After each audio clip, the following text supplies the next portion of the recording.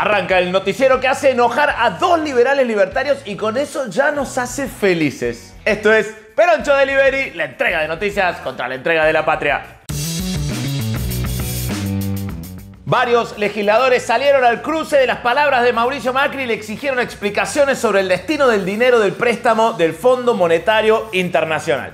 Mauricio Macri ahora se ha propuesto tratar de entender qué carajo dijo, a ver si lo puede explicar. ¿Qué pasó? El Aragán fugador ahora confesó que usó la plata del FMI para pagarle a bancos comerciales. O sea, confesó que financió la fuga de capitales más grande de la historia argentina tomando la deuda más grande de la historia argentina. Igualmente, mañana puede salir a decir que en realidad usó la plata para salir de joda, que total nadie de los medios hegemónicos ni del arco político no oficialista, valga la redundancia, le va a decir nada. Macri ya había dicho que a la plata la había usado para pagar deuda heredada. En el debate presidencial de 2019, Macri aseguró. Dos de cada tres pesos que tomamos de deuda fue para pagar deudas del gobierno anterior y el peso restante ha sido para pagar el déficit fiscal.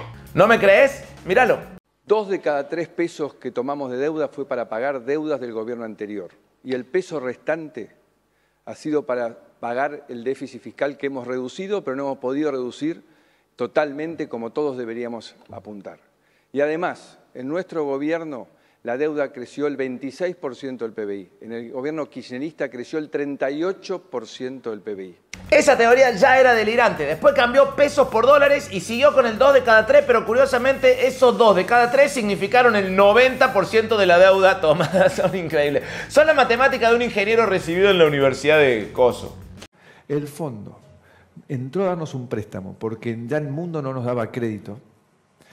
¿Y qué usamos? para pagar las deudas que ya teníamos, que dos de cada tres dólares venían de gobiernos anteriores. Entonces, cada uno del 90%, el 90% de, de los cuarenta y pico de mil millones de dólares que desembolsó el fondo, pagamos deudas que ya teníamos. La prueba está, es que vos mirás la deuda en diciembre del 2017, el fondo entró en abril y diciembre del 2019 y la deuda de la Argentina es la misma y vos escuchaste millones de veces eh, a los kirchneristas, al presidente, decimos hacerle un juicio a Macri porque la deuda tomaron cuarenta y pico de mil millones y se la llevaron sus amigos, se fugaron. Todo mentira. Es la misma deuda en, en diciembre del 17 que el 19. ¿Por qué? Porque habíamos bajado el déficit.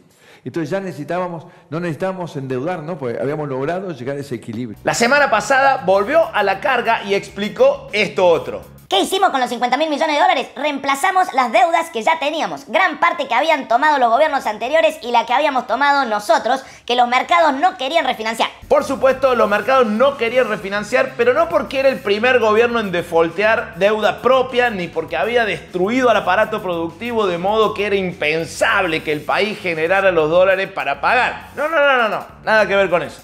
Era porque los mercados tenían miedo de que volviera el kirchnerismo. Miedo de que volviera la fuerza política que ellos mismos decían que estaba muerta para siempre. Entonces el fondo nos dio, a partir de abril del 18, 50 mil millones de dólares. ¿Y qué hicimos con los 50 mil millones de dólares? Reemplazamos las deudas que ya teníamos. Gran parte que habían tomado los gobiernos anteriores y la que habíamos tomado nosotros, que los mercados no querían refinanciar. La prueba está que desde que entró la plata al fondo hasta que nosotros nos fuimos, la deuda no aumentó solo reemplazó la que teníamos. Y este fin de semana en CNN, con un Marcelo Longobardi con menos repreguntas que Bernardo en el Zorro, dijo que los que tenían miedo eran los bancos comerciales y que hacia ellos fue la plata del préstamo. Que es los países del mundo que confiaron en la Argentina, que confiaron en el gobierno del ingeniero Macri y que le prestaron 50 mil millones de dólares para que le pague a los, deudores que ya tenían Argentina, ¿no? O sea, demoliendo una mentira de ellos que la plata se fugó la plata del fondo, que es la plata de los demás países, la usamos para pagar a los bancos comerciales que vencían y que se querían ir. ¿Por qué se querían ir? Porque tenían miedo que vuelva el kirchnerismo. Propongo que tomemos esta retórica macrista y digamos que lo que el macrismo llama plan platita, en realidad son fondos destinados a la población que tiene miedo de que vuelva el macrismo, ¿no? O sea, porque si vos le das plata a alguien que tiene miedo, es como que está justificado. Hace tres años que se le pregunta a Macri qué hizo con esa plata y siempre responde algo distinto. Es raro esto que está pasando. Y nunca nadie le dice, che, en la entrevista anterior dijiste otra cosa. Y no es que estemos hablando de una platita, son 45 mil millones de dólares que no hay forma de pagar después del colapso sanitario y económico y mucho menos después de la pandemia que vino luego. La última confesión de Macri, o mejor dicho, la confesión de Macri, temporada noviembre de 2021, o sea, la última confesión de Macri hasta ahora, despertó una serie de repudios. El Frente de Todos emitió un comunicado que dice, es tiempo de abandonar las excusas y las falsas explicaciones que pretenden tapar el sol con la mano.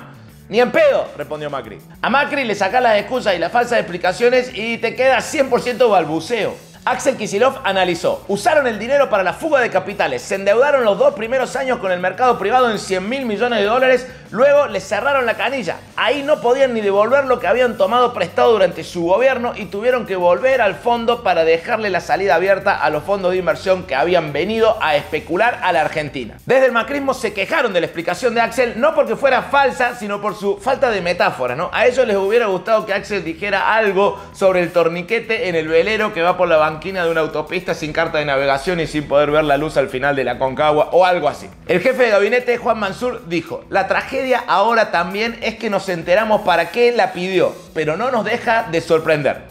Es rara la construcción de la frase, Mansur. O sea, perdón, perdón, pero es rara. No, no, se entiende si te sorprendió o no te sorprendió y de todas formas cualquiera de las dos opciones podría ser válida. Me sorprende que confiese que lo usó para financiar la fuga. Válida. No me sorprende que haya confesado que lo usó para financiar la fuga. También válida. O sea, Juan Mansur, es usted diabólico. La diputada Fernanda Vallejo exigió a través de redes sociales que Mauricio Macri entregue una explicación al Congreso sobre lo que ocurrió con el préstamo del FMI. Claro, por supuesto, está bien que alguien se la pida, una explicación oficial, una explicación ante algún representante del pueblo que no sea Longobardi o la nieta de Mirta Legrand. Es decir, una explicación ante alguien que no cobre un sueldo proveniente del propio Macri. Ok, voy a darle una explicación a Juan Schiaretti. Creo que no entendiste, Mauricio. Tiene que ser ante alguien que no cobre un sueldo de tu parte. ¿A qué banco les dio los dólares que nos quieren hacer pagar a todos? ¿En qué cantidad a cada uno y por qué concepto? Preguntó Fernanda Vallejos. Y tiene razón, estaría bueno saberlo. ¿Qué clase de concepto es para que no se vayan del país? ¿no? Porque si los bancos realmente recibieron esos dólares, ¿cómo los ingresaron en sus balances? ¿En concepto de pago por no irnos a la mierda? ¿Cómo fue? El secretario general de la Asociación Bancaria y candidato a diputado nacional por el Frente de Todos, Sergio Palazzo, fue más a fondo contra el fondo. Acaba de revelar el expresidente que, como país miembro, ha violado el estatuto del Fondo Monetario Internacional que prohíbe la disposición del financiamiento del fondo para la fuga de divisas. En este momento, desde el FMI, están llamando a Macri, onda, eh, no debiste hacer eso, ¿no? Sobocón gato, ¿eh? Rodrigo Núñez publica en el Destape una nota que revela que con la plata del FMI que fugó Macri se podría haber pagado el IFE a 9 millones de personas durante 3 años. El problema es que para el macrismo esto es motivo de orgullo para ellos, ¿no? Porque evitaron que pululen los choriplaneros. En esa misma nota hay un detalle de la deuda real tomada durante la mamertocracia. A principios de 2016, el macrismo tomó una deuda externa de 13.700 millones de dólares para pagarle a los fondos buitres que litigaban en los tribunales de Nueva York sin ofrecer ninguna resistencia. Y de hecho, pagándole más de lo que pedían, porque el gobierno macrista les pagó a los buitres los gastos legales del litigio que los buitres no estaban reclamando. Sí, no hace falta. No, pero por favor, yo invito, yo invito. ¿Cuántos son? Contra esa deuda se emitieron bonos con vencimiento en 2022, 2023 y 2025 que el actual gobierno reestructuró en 2020. En los dos años siguientes, el mega endeudamiento siguió con unos 100 mil millones de dólares. 100 mil millones, sí. En enero de 2016 y abril de 2018, Argentina encabezó el ranking mundial de principales colocadores de títulos de deuda en mercados internacionales. Se llevó más del 10,5% del total de la deuda mundial emitida en ese periodo. Volvimos al mundo, ¿no? Top 1 de países endeudados. Pero volvimos al mundo. Cuenta Rodrigo Núñez, para fines de 2017 el flujo de capitales especulativos es, se fumaba. La fiesta se había terminado y el saldo de la balanza de pagos empezaba a flaquear. En un manotazo de que anticipaba el final, con el guiño político del expresidente estadounidense Donald Trump, el FMI le otorgó a la Argentina el préstamo más grande de su historia. La irrisoria cifra de 54 mil millones de dólares es incluso superior al monto recientemente asignado por el organismo, o sea, el FMI, para que todos sus socios puedan enfrentar las duras consecuencias económicas que dejó la pandemia. Esa es, resumida, la historia de la deuda king size que nos dejó el macrismo. Pero lo mejor es que Macri dice que tomó esa deuda del FMI porque los bancos o los mercados, esa parte va cambiando de acuerdo a cuando declara Macri, tenían miedo del regreso del kirchnerismo. Pero en 2018 todos daban por muerto el kirchnerismo. Cambiemos había ganado la legislativa de 2017. Quizá cuando le cambiaron el nombre de Cambiemos junto por el cambio, Macri pensó que ya no era Cambiemos, o los, bonistas pensaron, ah, bueno, si, si, no ganó Macri, no, por lo tanto no habían ganado las elecciones. Capaz que fue por eso. También, si fuera cierto que los mercados temían el regreso del kirchnerismo en 2018, hay que pensar esto. Probablemente los mercados tenían mejores espías que el propio Macri no se dio cuenta que iba a perder en primera vuelta. El escrito del Frente de Todos desmiente a Macri en este aspecto y dice, el acuerdo con el FMI fue anunciado en mayo de 2018 y dice que unos meses antes el gobierno de Macri había ganado las elecciones legislativas en gran parte de las provincias del país, con lo que había resultado fortalecido política y económicamente y prácticamente ningún análisis político pronosticaba el regreso al gobierno de la actual vicepresidenta Cristina Fernández de Kirchner en 2019, sino todo lo contrario. Un ejemplo de esto, Joaquín Morales Sola, marzo de 2018, el plan para que Macri sea reelegido. Y un año más tarde, el clima no había cambiado mucho. Ahora Macri busca un triunfo en primera vuelta. Bien, Joaquín, ¿eh? un analista de primera. Y en junio de 2019, ¿cómo será un futuro gobierno de Macri? O sea, lo daban por ganado. Si los bancos se querían ir, no era por si volvía el kirchnerismo, era porque lo de Macri se sostenía menos que el piso del comedor que Macri le abrió a Margarita Barrientos.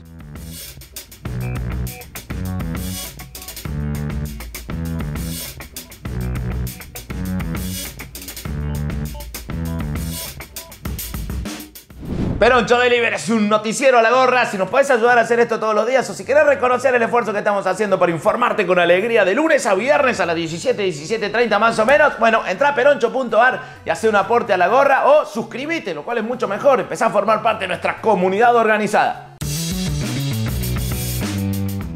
Los remedios vuelven a sus precios del 1 de noviembre y se van a mantener en ese precio hasta el 7 de enero. O sea, si el domingo no vuelven a ganar, al menos tendremos calmante más barato. Hay que verle el lado positivo a todo. El gobierno nacional desmintió la noticia falsa sobre Córdoba extraída de parte de los dichos de Alberto Fernández en una reunión con dirigentes cordobeses y la portavoz presidencial Gabriela Cerruti afirmó que el presidente no solo no dijo lo que le intentan hacer decir, sino que dijo todo lo contrario y remarcó que sostuvo que Córdoba nunca ha sido discriminada durante este gobierno y que espera que se integre, como todas las provincias, a la senda de crecimiento de la Argentina. Igual, para la unidad básica macrista, antes conocida como Diario La Nación, al kirchnerismo le queda más cerca Nicaragua que Córdoba. 68 mil millones de pesos envió el gobierno nacional a Córdoba para financiar obra pública en esta gestión. Cero peso a Nicaragua. Ahora, desafío. ¿Se animarán en la Nación a comparar cuánta plata envió Macri a Córdoba y cuánta a América Central? Mm. El Banco Nación retoma la presencialidad plena en todas las sucursales del país con el objetivo de ampliar la atención y restablecer la totalidad de los servicios, trámites y operaciones. Vuelven todos los empleados y todas las empleadas. Los que no vuelven son los fondos vaciados por González Fraga y Lucas Yach, pero eso es por otra pandemia. Los créditos a tasa cero para monotributistas ya superan los 360 mil con una inversión de 42 mil millones de pesos. Ah, pero el gobierno no hace nada, ¿no? No, no, no. Esta ayuda no cuenta porque no es tan significativa como cuando Macri aumentó 3.000% el gas y nos permitió a todos y a todas pagar un precio digno por calefaccionarnos. Más de 17.000 pasajes de trenes con destino a Tucumán para la temporada de verano se vendieron ayer en retiro. 17.000 pasajes en un solo día. ¿Te das cuenta que estamos volviendo? En tren. O sea, más lento de lo que nos gustaría, seguramente. Pero estamos volviendo. ¿Te das cuenta? En los próximos días, en tanto, se habilitará la venta de los pasajes para la temporada de verano a Córdoba. Y ahora el escaretismo evalúa cómo va a informar la noticia para que parezca una discriminación a la provincia mediterránea, ¿no? O sea, están analizando. Puede ser ese tren es unitario, sale desde Buenos Aires y no desde donde los cordobeses queremos que salga. En Chubut, la Asamblea Permanente por los Derechos Humanos presentó una acción judicial ante el Superior Tribunal de Justicia de esa provincia para que declare inconstitucional el protocolo para uso de armas de fuego para la Policía Provincial aprobado en el año 2020 por el ministro de Seguridad Federico Mazzoni. El gobernador Arcioni no entiende qué tiene de inconstitucional dispararle con balas de plomo a los manifestantes en lugar de esas balas de goma que son de cotillón y no matan a nadie.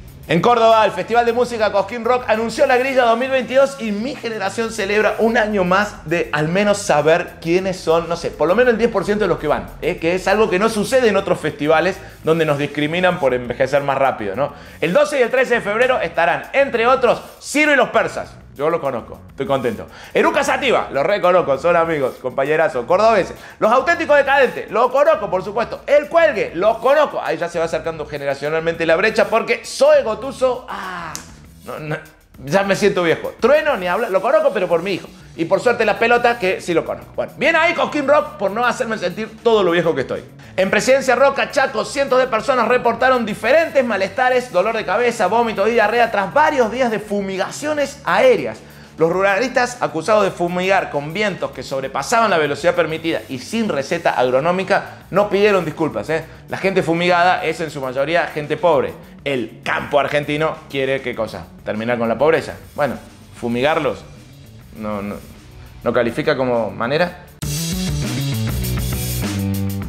Milagro Sala fue ilegalmente detenida el 16 de enero de 2016. Lleva 2.124 días privada de su libertad. En este día y cada día, libertad a Milagro Sala. Y por favor, no tomen esto como un motivo para no votar este gobierno, porque la única forma de que Milagro salga es con un gobierno de este signo político. Es solamente con el frente de todos. No hay otra. Si nos querés dar una mano para seguir haciendo este noticiero, pero no querés usar Mercado Pago, podés usar este alias de CBU, a ver si lo pongo bien ahí la manito, eh, Cristina.vence, es un rayo cristinizador que te abre 160 escuelas en Córdoba de pura discriminadora que es la jefa nomás. Por el crimen del kiosquero en La Matanza, la oposición y los medios, valga la redundancia, empezaron a agitar la fake news de que el sospechoso había sido liberado prácticamente por Alberto y Cristina durante la suelta de presos por el COVID. Pero, atención, ni Alberto ni Cristina liberan, ni liberaron, ni liberarán presos. Lo hace el Poder Judicial. No hubo suelta de presos por COVID. Y este sospechoso en particular fue liberado por algo que no tenía nada que ver con el COVID. Había cumplido su condena. Este hombre había salido de la cárcel el 13 de agosto del 2020. Pero aclaro un dato que se informó mal en las últimas horas. A ver. No había salido por el tema del coronavirus. Ah, ¿no? No se le había agotado la sentencia, se le había agotado la pena, porque a él lo habían condenado en el 2014 por tentativa de hurto por escalamiento, que es cuando vos entrás subiéndote por los techos, por un tapial, rompiendo una ventana, rompiendo una puerta, más robo a mano armada. Tenía una pena de cinco años y diez meses, se le había agotado. O sea, la cumplió la pena. La cumplió. Por supuesto, qué mal este gobierno que no deja a los presos que ya cumplieron su condena presos un tiempito más, ¿no? Eso debería ocurrir en un país serio, ¿no? ¿No pasa eso en Europa? Buenas noticias para salir a militar en esta semana crucial. Atención. 1. Ya hay más de 62.440.000 vacunas aplicadas en nuestro país. 2. El PBI logró hilar cuatro meses consecutivos de mejoras. 3. La facturación del Cyber Monday creció un 80% respecto a 2020. Y eso que en este Cyber Monday Macri no compró a ningún periodista. 4. Las unidades turísticas de Chapadmalal y Embalse en Córdoba reabrieron, como con cada gobierno peronista. Y ahora con la posibilidad de que tomes vacaciones a 1.200 y 900 pesos por día con hotel, desayuno, almuerzo y cena. 5. Una empresa francesa invertirá 400 millones de dólares para construir una planta de litio. Siguen llegando inversiones. ¿Qué pasa? ¿No tienen miedo de que vuelva el kirchnerismo? 6. El precio de la carne volvió a bajar en octubre por cuarto mes consecutivo.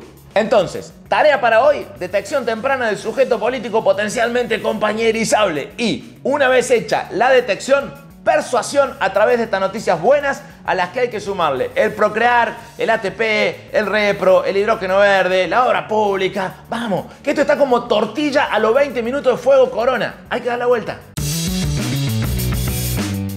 Dice Patricia Bullrich que ella no politiza el crimen del kiosquero, que solo pide que se tomen las medidas que ella tomó cuando fue gobierno. No, clarísimo, eso no es politización. No, cero política, mírala. Me quedé pensando en algo que dijo usted al principio, que le mandó mensajes a los familiares del kiosquero. Le pregunto qué es lo que le transmitió y me surge la pregunta de si no hay ahí un punto donde la oposición pueda estar haciendo campaña con semejante dolor que está viviendo esta familia. No, por supuesto que no. Yo le mandé un mensaje privado eh, por medio de una persona del barrio y fue un mensaje privado, pero yo creo que no hay que politizar esto estamos a cuatro días de las elecciones, lo que hay que hacer es tomar decisiones profundas como las que habíamos tomado nosotros en política de seguridad. Pero yo creo que no hay que politizar esto, estamos a cuatro días de las elecciones. El intendente de Pinamar, Martín Yesa, de Juntos por el Cambio, asfaltó un bosque y lo publicó como un logro que lograron lograr. Hermoso, ¿no? Ahora se puede caminar por el bosque sin esa molesta sensación de caminar por un bosque. Y una mención especialísima para estos dos fachos acusándose de comunistas mutuamente. Esto es un delirio total. Ahora, Carlos, vos sabés, vos como mi de historia, la no inventes, Bueno, te no pusieron en la lista. López Murphy, qué sé yo, no sé Soy qué, un qué partido nuevo, la reta. hace tres meses que No, estoy. pero vos no sos soy nuevo, un vos- vos- comerciante, vos- soy un presidente de una ONG, vengo trabajando en la pusieron, calle, a vos te de la pusieron de candidato, de candidato, de Entonces, la ¿qué tengo que lista López Murphy. Macri? Si vos sabés que no tengo nada que ver, ¿por qué inventás? Si vos sabés Pero que no vos tengo nada que entraste al macrismo, ¿a dónde estás vos? Si vos sabés que no tengo nada que Pero ver. entraste ¿por al macrismo. Si vos sabés, no es el macrismo, es Juntos por el Cambio, es una coalición que compone ¿Y vos qué sos ideológicamente? ¿Cómo te identificas? Yo soy liberal, por ¿Cómo vas a liberal? Estás un partido socialista. ¿Y, y vos? vos Yo soy liberal, liberalismo Vos sos mucho más socialista que yo. ¿Cómo soy Si socialista? votaste a Pino Solana, votaste a Massa en 2015, votaste a Frente de Todos en que- 2019. pero el voto de Pino Solanas es correcto, era para que no entre Filmus. Sí, siempre te son excusas. Sos más Pero si comunista estaba que la Carrió, izquierda. ¿sabes cómo era la lista? Carrió o Solana. Vos me acusás a mí. ¿Qué era mejor? ¿Qué- En el 2013, ¿Vos ¿qué era mejor? te ¿Que entre convertiste en Solanas liberal? o que era, pegaste, que era- pegaste dos o tres negocios financieros y ahora de repente sos liberal. Yo soy liberal histórico, ¿qué me estás Vos diciendo? sabés que acá no votaste a Pino Solanas en 2013. Era Aquí en correcto. 2015 a Massa. En No, 2019 al frente no, de querido, todos. no. Vos sabés que acá- acá no yo lo voté a Macri en segunda se vuelta. Y en el 2019 voté contra ustedes por. Entonces, porque- entonces no por solamente sos comunista y de izquierda, sino además sos un panqueque, no paras de dar vueltas. No, no. ¿Qué estás diciendo? En el Bueno, te acabo 2019, de mi, voto el 2019 es 2013 correcto. votaste a Pino Solana, 2015 votaste a Sergio Massa, 2019 lo votaste al frente de todo. Después segunda vuelta Macri. Y lógico. ¿sabes por qué? Porque No. Massa- nosotros votamos Massa en primera y votamos en el balotaje, lo votamos a Claro, Macri. está bien. mal ese voto? No, está perfecto. Gracias a mi voto ganaron ustedes. Para- 2015. para que- Y gracias a mi voto perdieron ustedes en 2019 razón. correctamente. Este Petrona no debate, puede este que debate se- es fantástico. acusan de comunistas. No, que es la izquierda, mira, ¿sabes? Dugan, ¿sabes una cosa? Acá es así, yo soy la derecha, él es la izquierda y él es la extrema izquierda. Este es el- No, en serio. Es más de son izquierda que de Pitrola. Vente, lo más, esto, esto, escuchame, Pablo, el PRO está a la izquierda del que Partido venía Obrero. A un debate cómico. El aplauso de hoy es para los diputados chilenos que lograron llevar al presidente Piñera a juicio político por tener cuentas offshore. Algo que en Argentina, bueno, no es un delito porque las cuentas de Macri eran un regalo del padre de Macri. O mejor dicho, las tenía pero no las usaba. O las tenía por las dudas. O las tenía pero eran cosas de su vida privada. En fin, no era como para hacerle juicio político. Miren esta belleza. Los diputados chilenos empezaron a tratar la acusación contra Sebastián Piñera ayer.